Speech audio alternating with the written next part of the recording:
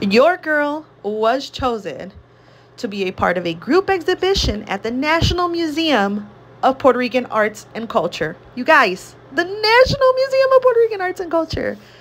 I'm still in disbelief that they even asked me, and I am so grateful. But I'm going to bring you along as I make a Vejigante mask for the show. Now, if you're new to my work, I am a Vejigante mask maker. What's a Vejigante mask? It is a folk art mask from the island of Puerto Rico that is sometimes made with paper mache, and I'm going to bring you along as I make my mask.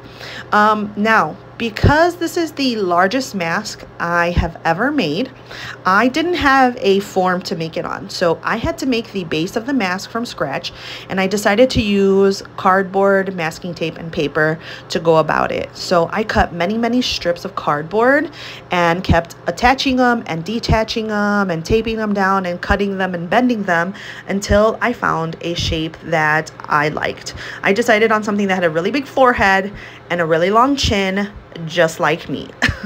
just kidding. But it, it, it does. But anyways, um, I'm attaching some pieces of straight up paper to the base of the cardboard so that the paper mache sticks onto it later. Um, and guys, this minute and a half video was four hours of work. So you're going to have to come back tomorrow for part two.